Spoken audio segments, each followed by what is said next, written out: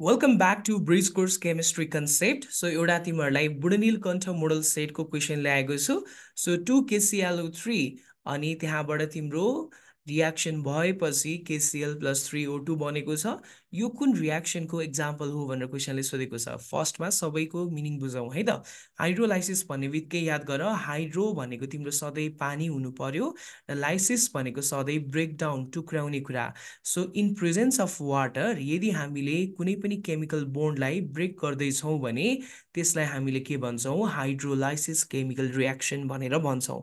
ल अब अर्को चाहिँ हेर। सिन्थेसिस रियाक्सन सिन्थेसिस रियाक्सनमा जेनरली के हुने हो।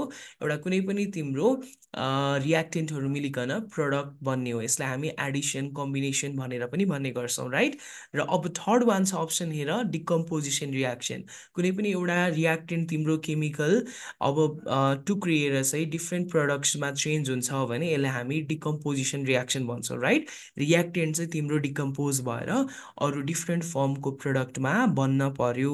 र अन्तिममा चाहिँ हेर प्रेसिपिटेसन कुनै पनि केमिकल रियाक्सन तिम्रो भइसके पछाडि प्रडक्ट प्रडक्टमा चाहिँ इन्सोल्युबल खालको एउटा सोलिड नेचरको प्रडक्ट आउँछ भने त्यसलाई हामी प्रेसिपिटेट भनेर भन्छौँ र त्यो टाइप अफ रियाक्सनलाई के भन्ने?